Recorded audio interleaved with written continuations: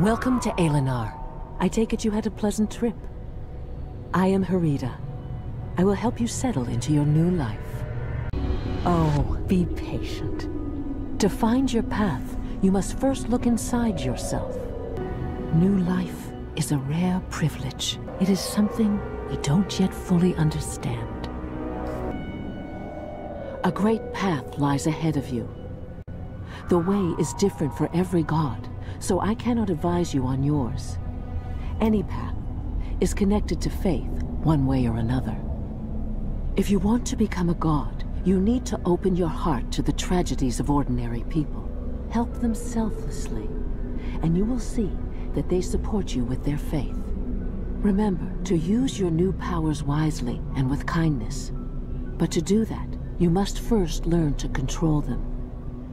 I know someone who can help you with that.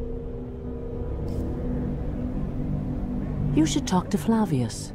He's no ordinary god. His vocation is science, but don't let that discourage you. He's a miracle worker in his way. He's waiting for you. Now go. Like a wise traveler filling his flask before each journey, you accumulate knowledge and experience. I'm glad to see that. We received a distress signal from an Aelion factory. Please, go and find out what happened there. It would be too dangerous for a novice, but not for you. All I know is that it's no ordinary threat. Try to find out who is behind the attack. And please, do be careful. Glad to hear order at the factory was restored. So, what did you find out? What exactly are you saying? Someone is giving orders to the Reapers?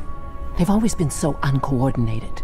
If they have a leader now, they've become a very serious threat. Firstly, we must notify the other Immortals.